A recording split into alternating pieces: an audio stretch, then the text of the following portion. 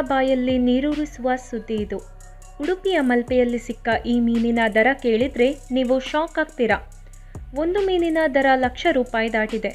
ಹೌದು, ಹರಾಜಿನಲ್ಲಿ ಒಂದು ಲಕ್ಷಕ್ಕೂ ಅಧಿಕ ಹಣಕ್ಕೆ ಮಾರಾಟವಾದ ಇದಕ್ಕೆ ಗೋಳಿ ಮೀನು ಎಂದು ಹೆಸರು.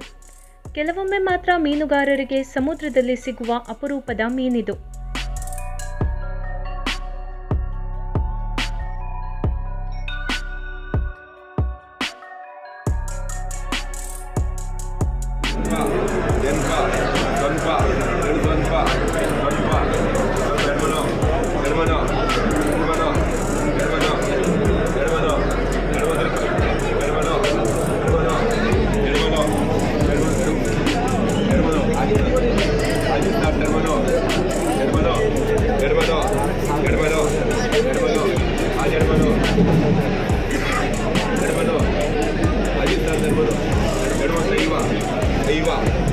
ಈ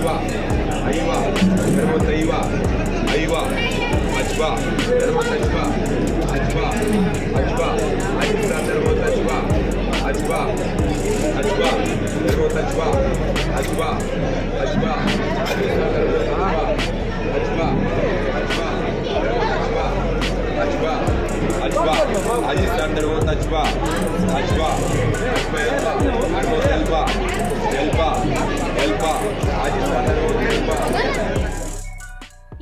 ಬಲೆಗೆ ಬಿದ್ದರೆ ದೊಡ್ಡ ಲಾಭ ತಂದುಕೊಡುತ್ತೆ. ಶ್ಯಾಮರಾಜ್ ತೊಟ್ಟಮ್ರವರ ಬಲರಾಮ್ ಸೆಕೆಂಡ್ ಬೋಟ್ನ ಮೀನುಗಾರರ ಬಲೆಗೆ ಈ ಮೀನು ಸಿಕ್ಕಿದೆ. ಹರಾಜಿನಲ್ಲಿ ಈ ಮೀನು ಒಂದು ಲಕ್ಷದ ಮೂವತ್ತು ಸಾವಿರದ ಆರುನೂರು ರೂಪಾಯಿಗೆ ಮಾರಾಟವಾಗಿದೆ.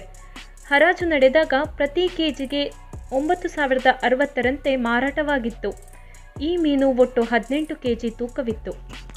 ಜಲ್ಪ ಜಲ್ಪ ಜಲ್ಪ ಜಲ್ಪ ಜಲ್ಪ ಏಳು ಸಣ್ಣ ಸ್ವಲ್ಪ ಎಲ್ಪ ಜಲ್ಪ ನೂತೆಲ್ಪ ಎಲ್ಪ ಎಲ್ಪ ನೂತೆಲ್ಪ ಸ್ವಲ್ಪ ನೂತ ಸ್ವಲ್ಪ ಸ್ವಲ್ಪ ಏಳು ಸಣ್ಣ ಪತ್ತ ಇರ್ನೋ, ಪತ್ತು ಪತ್ತ, ಪತ್ತು ಹತ್ತು ಪತ್ತು ಪತ್ತು ಇನ್ನೊತ್ತು ಪತ್ತು ಏಳು ಸಣ್ಣ ಇನ್ನೊತ್ತು ಪತ್ತು, ಇರುವ ಹೇಳುತ್ತಿರುವ ಇರುವ.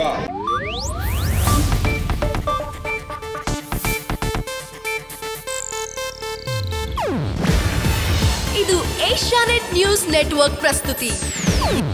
ನೀವು ನೋಡ್ತಿದ್ದೀರಾ ಏಷ್ಯಾನೆಟ್ ಸುವರ್ಣ ನ್ಯೂಸ್.